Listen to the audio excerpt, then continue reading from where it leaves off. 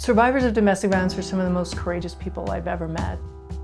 SPAN has been in the community for almost 37 years and our goal is to end domestic violence and violence against adults, youth and children through support, shelter, advocacy and community organizing. The domestic violence, it really cuts through every layer of the social status. When you think about domestic violence, um, you know, it really, it, the incredible range we are talking about, our idea of domestic violence is this person with, with bruises or injury that you could see it is only a small part of that. Our core programs are um, really intended to, to, address the immediate needs of survivors. So we have a 24-hour uh, crisis line where we respond to close to 9,000 crisis calls each year an emergency shelter where we provide about 9,200 shelter nights to almost 400 adults and kiddos. Services that are intended to um, provide early intervention and support. Letting them know that they get to make the decisions and just empowering them with information and support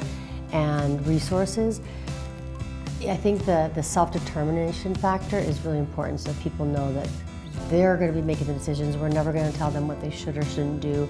We're just going to come to the table and provide them assistance, support, advocacy. We believe that relationship is critical for a person to feel stronger and resilient.